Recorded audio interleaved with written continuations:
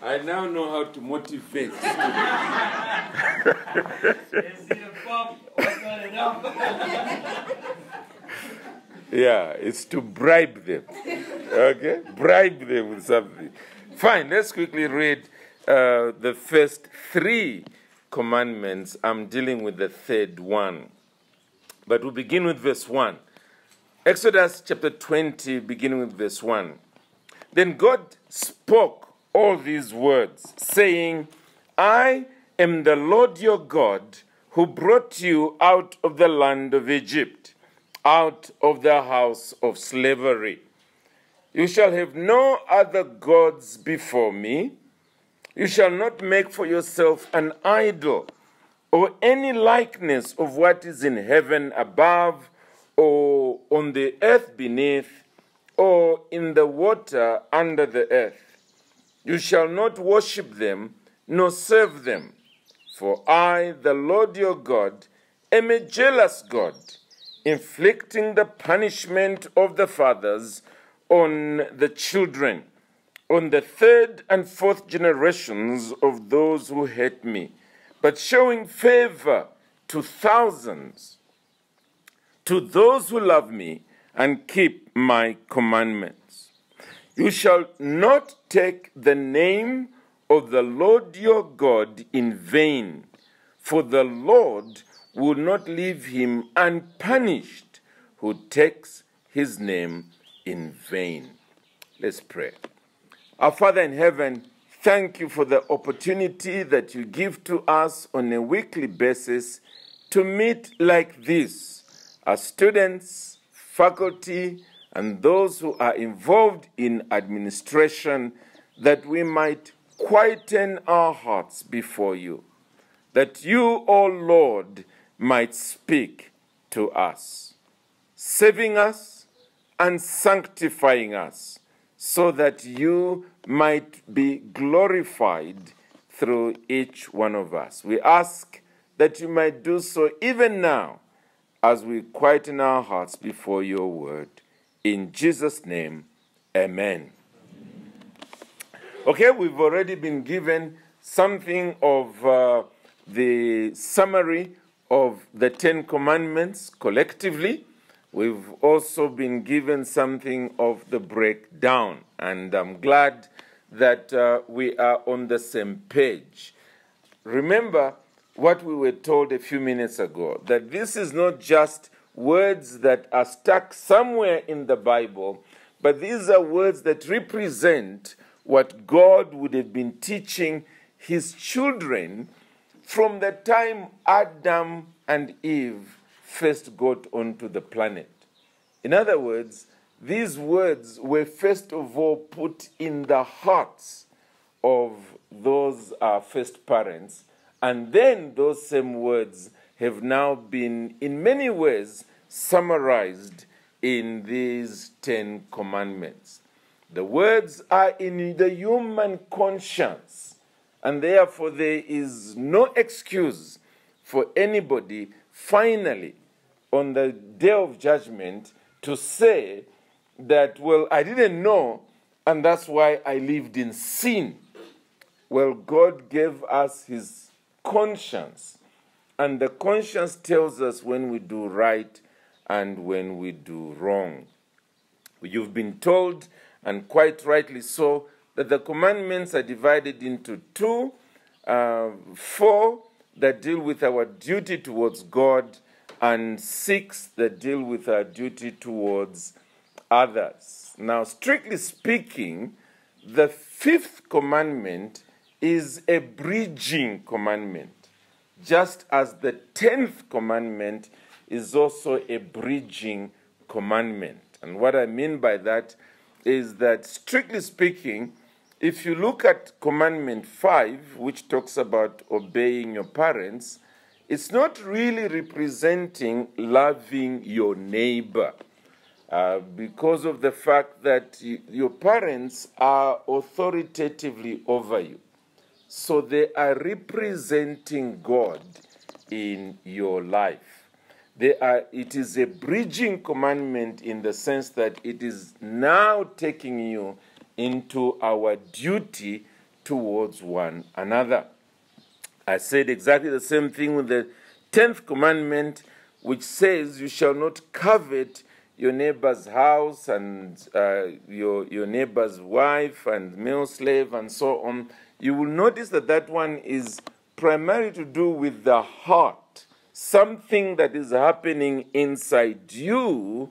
Whereas when you deal with all the others that are above, murder, committing adultery, stealing, and bearing false testimony, you are doing something also on the outside. So, in many ways, what you have in the first five, rather than just the first four, is the worship of God. You have the first one, as has already been pointed out, the object of worship.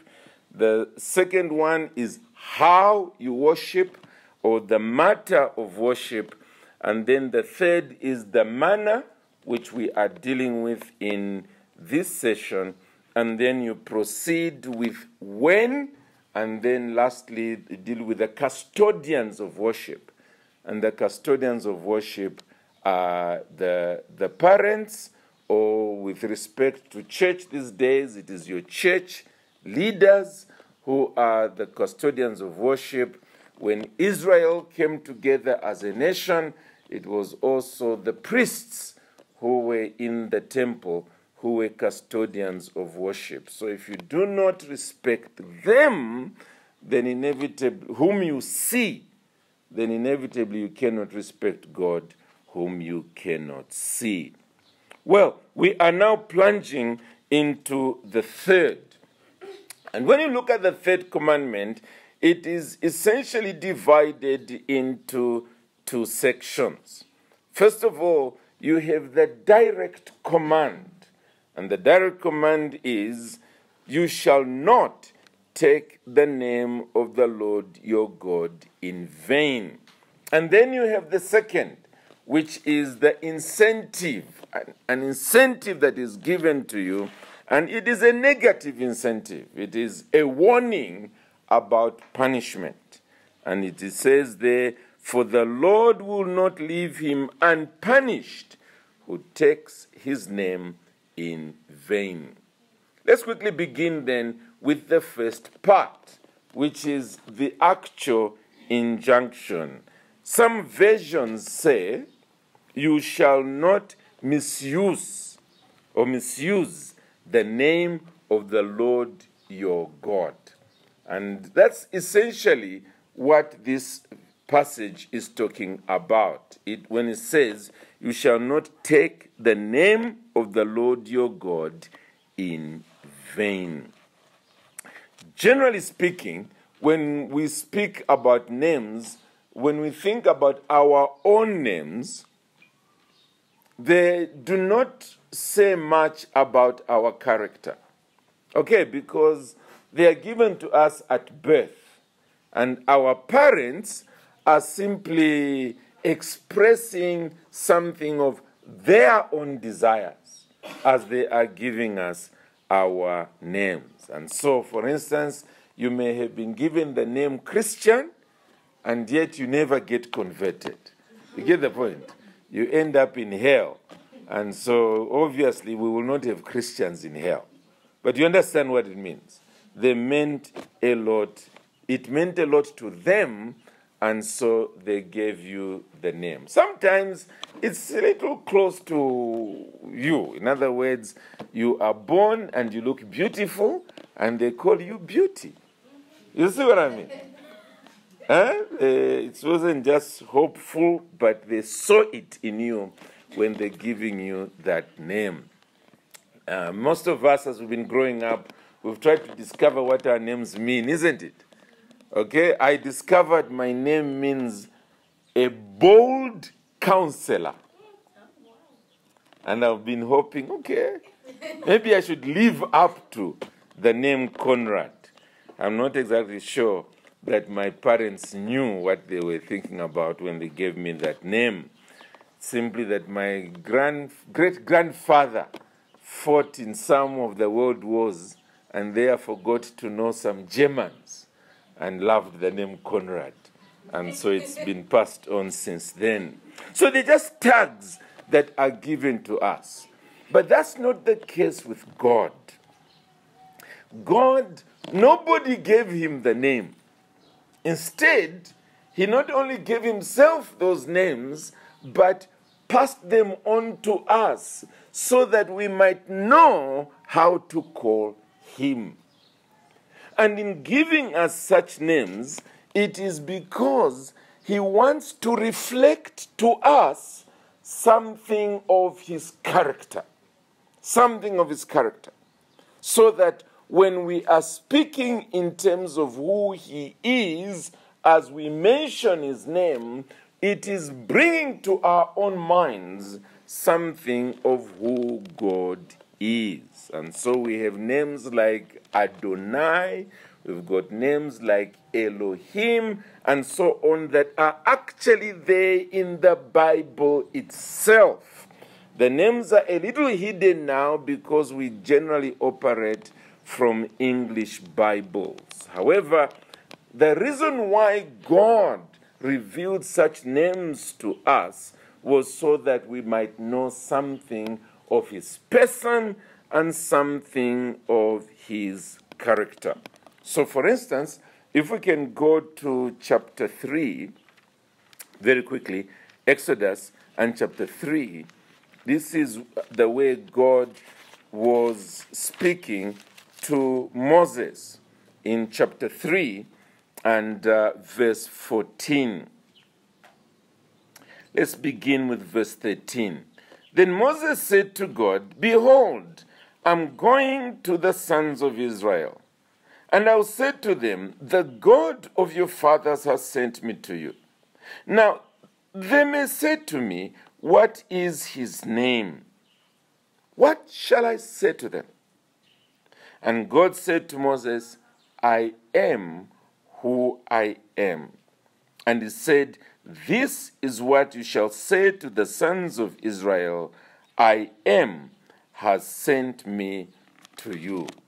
Now that's really making life difficult, isn't it? To say to people that, you know, I am has sent me.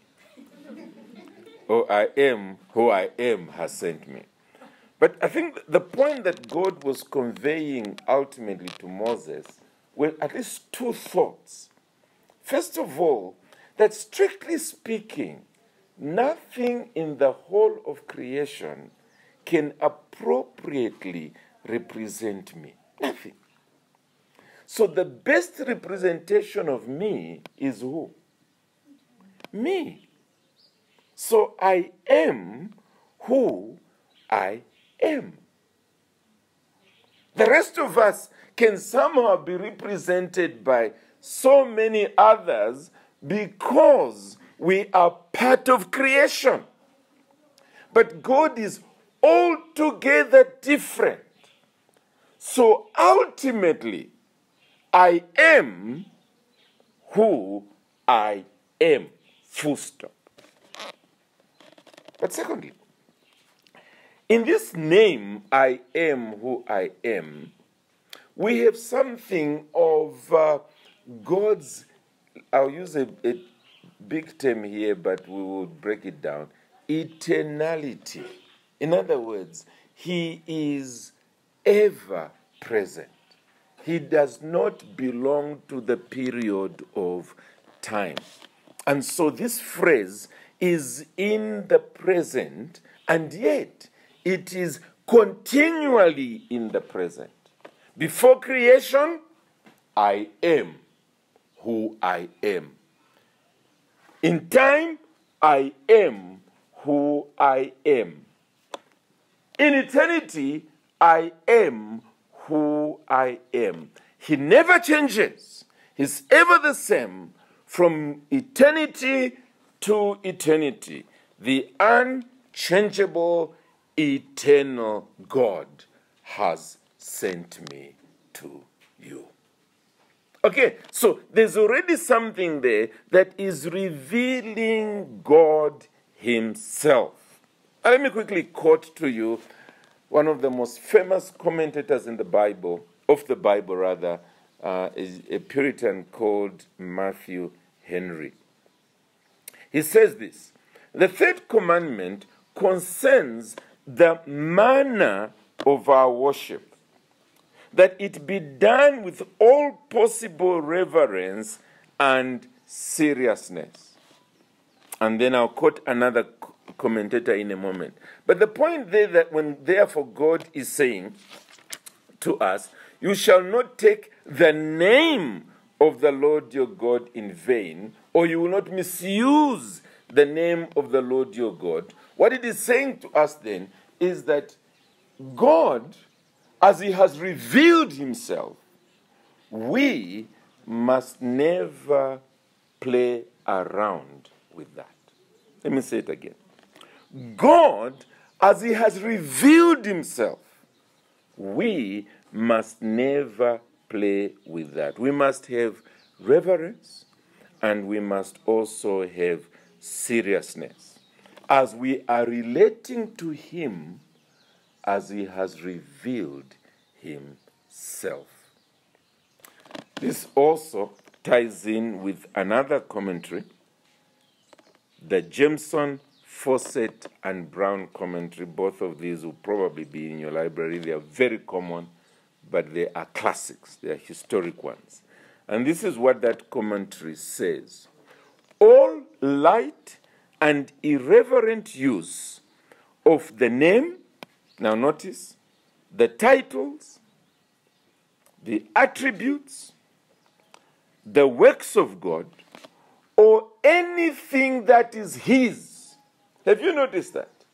It's no longer just the name but the titles, the attributes, in other words, what we consider to be characteristics of God, the works of God, His decrees, creation, providence, as is ruling the whole of history, and then they add, and anything that is His.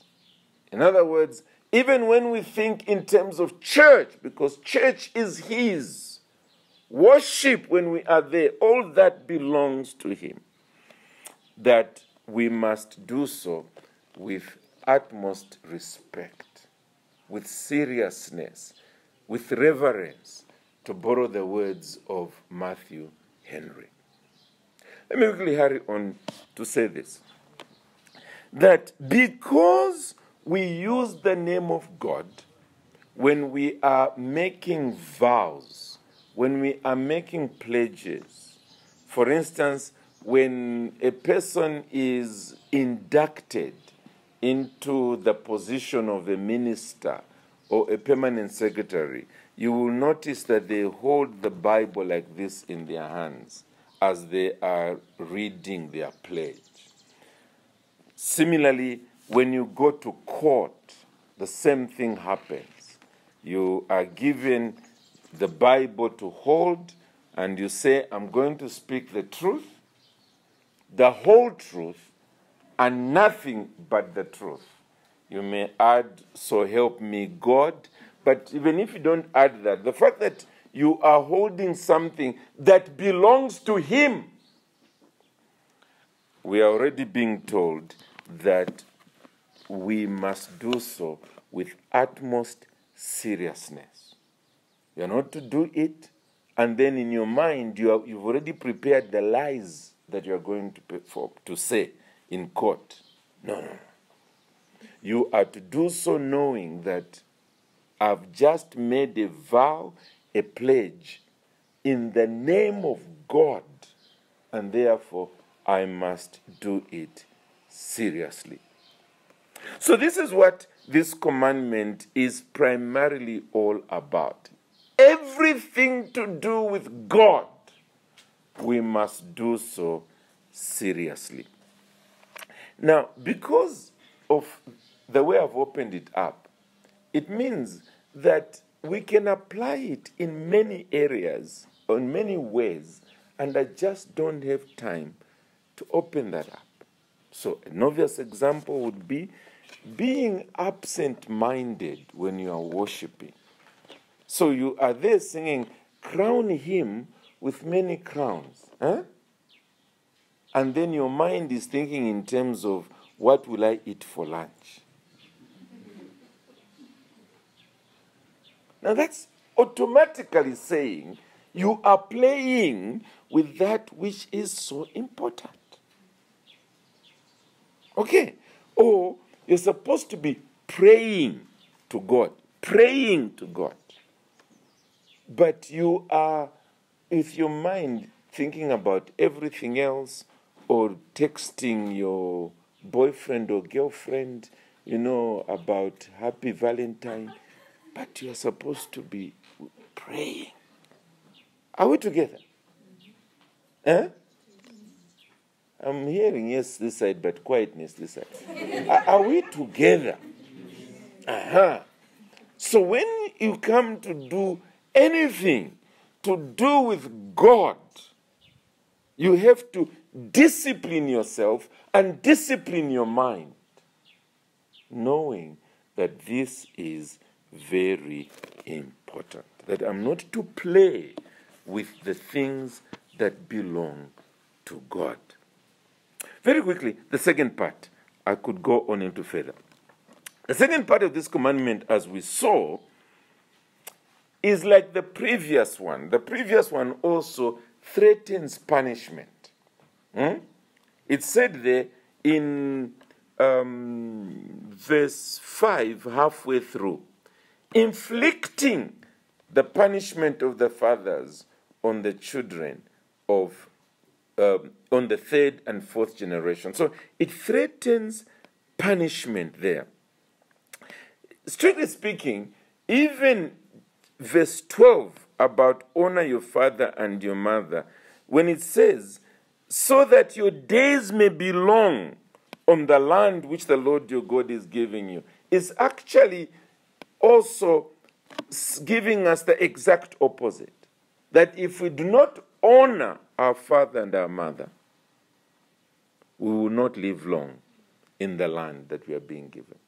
But thankfully, that one is given in a positive way. But these two are in the negative, and they threaten that punishment is going to come upon you. Now, in the Old Testament, assuming you actually blasphemed the name of God, there was a clear punishment in Leviticus and uh, chapter, um, I think it's for 24, Leviticus 24, and it's really that you were to be stoned. Hmm? You were to be stoned. Leviticus 24 and verse 16.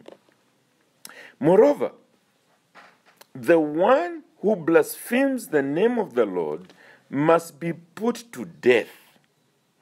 All the congregation shall certainly stone him. The stranger, as well as the native, when he blasphemes the name, shall be put to death. Now, that's obviously bringing out the seriousness of this matter, especially that it is saying that everybody must participate. The congregation. Eh? Imagine stoning your brother or your sister or your father or your mother or your son or your daughter.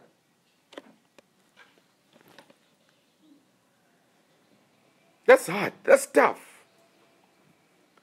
But that's God trying to send a message of worse punishment in eternity if we play around with his name. Now, the Israelites were, were so, uh, what's the word? They, they were so afraid of this reality that they stopped using God's name. Hmm? They stopped using God's name. they never mentioned God's name. Literally. That by the time Jesus was coming on the scene, guess what? They had forgotten God's name. So up to now, they don't, they don't know God's name. Now, in writing, it was there, but because in writing they didn't have the vowels, they only had the consonants. I'm sure you know vowels and consonants. Hey? Some of you are looking blank. Okay. Because they didn't have the vowels, they do have the name, for instance, which we now call Yahweh, eh? Or Jehovah. They have the consonants there in the Bible. But because they lost the vowels, that's how come nobody knows the exact pronunciation of God's name. So, what they began to do in order to escape this tricky situation is that they began to, to swear indirectly. Hmm? Indirectly. And that's what Jesus was addressing. Let's quickly go to Matthew. Um, let me see which one I can use for lack of time. Uh, when should I wrap up? You know, I've been missing for quite some time. When does channel chapel finish? I hope it's not five minutes ago. what time is it supposed to end?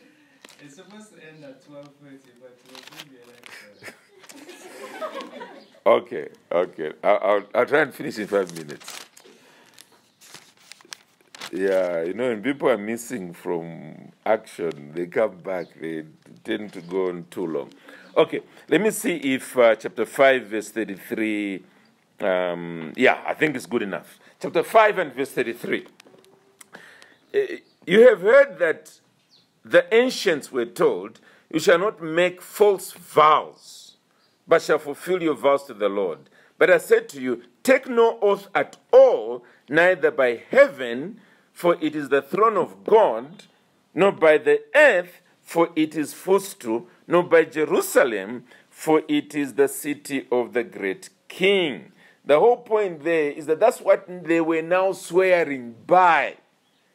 To keep away from swearing by the name of God itself directly.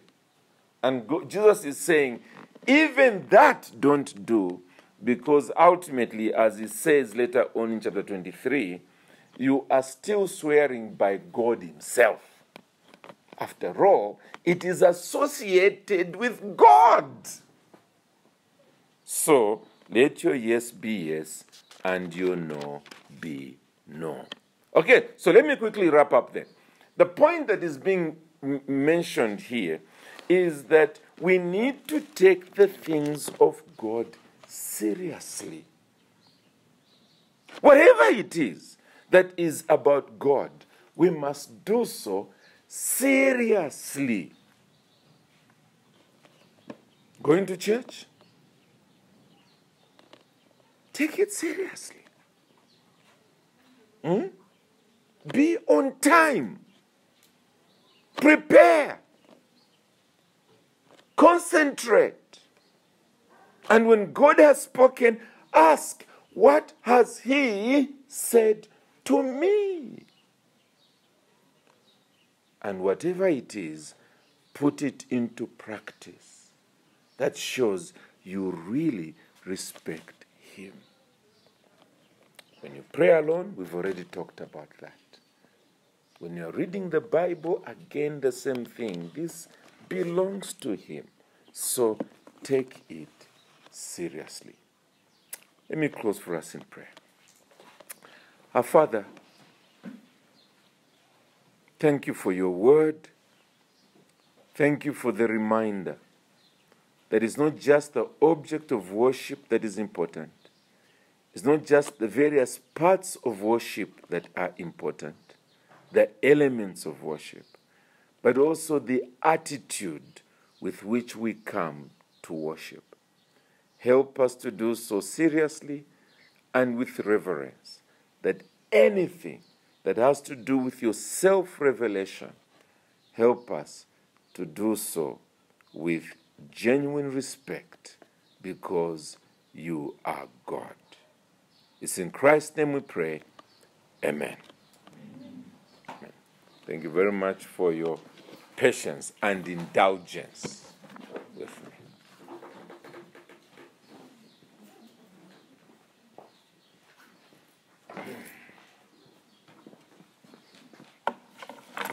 Uh, Thank you very much, uh, Pastor Conrad. We are truly blessed.